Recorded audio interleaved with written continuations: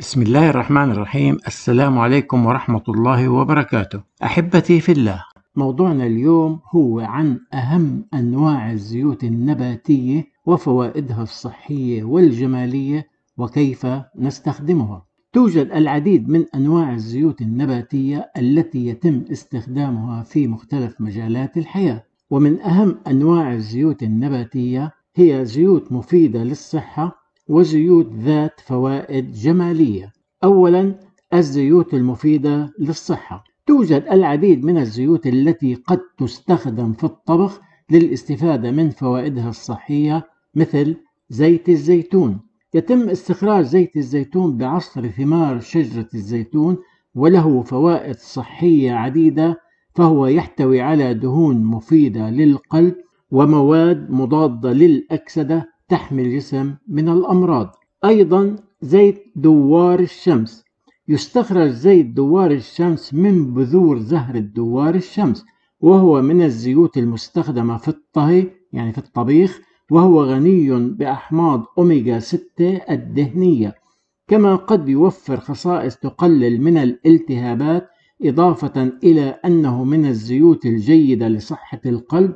طبعا زيت دوار الشمس غير المهدرج وينطبق ذلك على كل أنواع الزيوت النباتية. طبعا كل أنواع الزيوت النباتية غير المهدرجة هي زيوت صحية. أما الزيوت المهدرجة والمكررة فهي زيوت غير صحية. أيضا زيت الفول السوداني.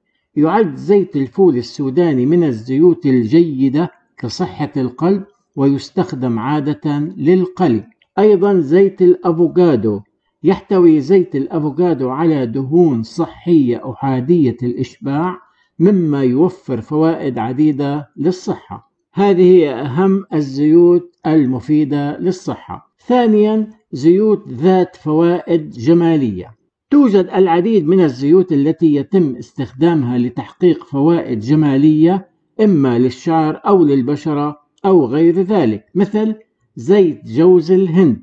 يمتلك زيت جوز الهند خصائص مضادة للبكتيريا والالتهابات والأكسدة كما أنه قد يساهم في تعزيز شفاء الجروح ويعد من الخيارات الجيدة للشعر التالف. أيضا زيت اللوز. قد يساهم زيت اللوز في توفير خصائص تحارب علامات التقدم في السن وتساعد على حماية البشرة. أيضا زيت الجوجوبا. قد يساعد زيت الجوجوبا على تحسين امتصاص منتجات العناية بالبشرة التي يتم تطبيقها كما يساهم في توفير فوائد خاصة به. تتمثل في تعزيز شفاء الجروح وتوفير خصائص مضادة للالتهابات والأكسدة. أيضا زيت شجرة الشاي.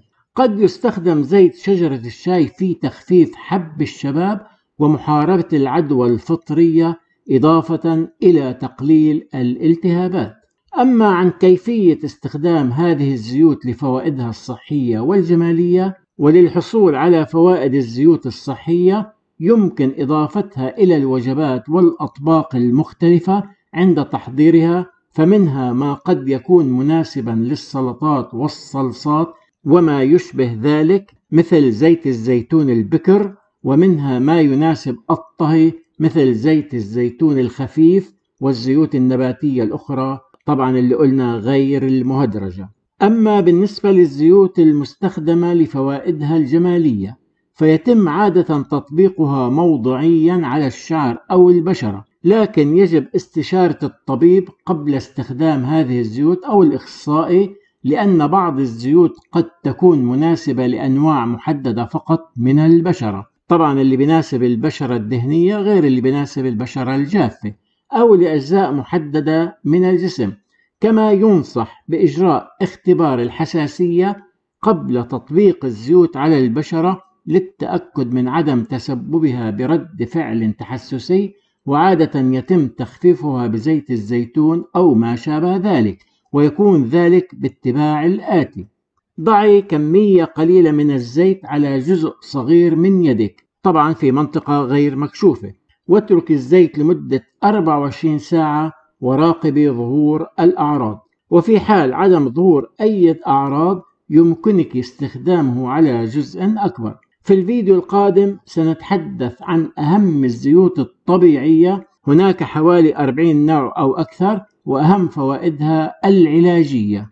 أدام الله عليكم نعمة الصحة والعافية حبايبنا بانتظار رأيكم وتعليقكم على هذا الموضوع. لا تدعها تتوقف عندك شاركها ولك الأجر والثواب. دمتم في حفظ الله ورعايته والسلام عليكم ورحمة الله وبركاته. حبايبنا لا تنسوا الإعجاب بالفيديو والاشتراك في القناة تشجيعا لنا لنستمر بنشر المزيد إن شاء الله.